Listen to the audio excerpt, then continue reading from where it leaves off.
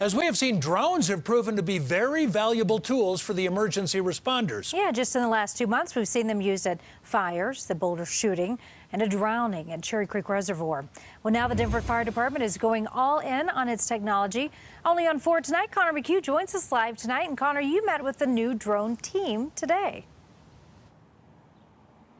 Yeah, and Karen, they are already seeing what these drones are capable of. Just last month, they actually helped crews keep a fire from reigniting at this church in North Denver. Moving forward, they say that's just one of the many possibilities they will have in keeping both the community and their crews safe.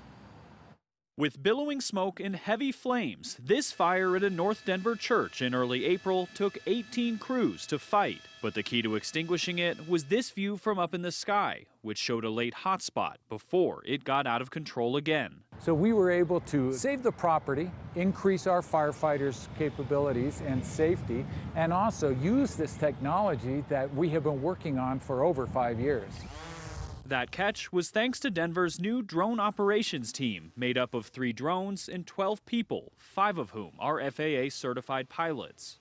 Each you get about 10 foot of clearance. Each drone can scan any scene from hundreds of feet in the air, even showing an infrared view. We can look at a fire situation and determine where the hot spot is. We can go to a water rescue situation to determine where maybe there is an individual trapped on a rock. Captain Greg Pixley says what the drones improve the most is safety. Our firefighters will be able to recognize where dangerous situations are that they were unable to from the ground level. Other metro area agencies have used drones for years, and for Denver, their trials and errors will be valuable. To use their expertise to help guide us. Every situation ahead will be different, but the team believes its potential is sky high.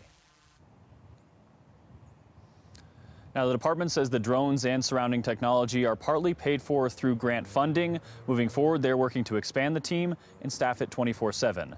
Live tonight in Denver, Connor McHugh covering Colorado First.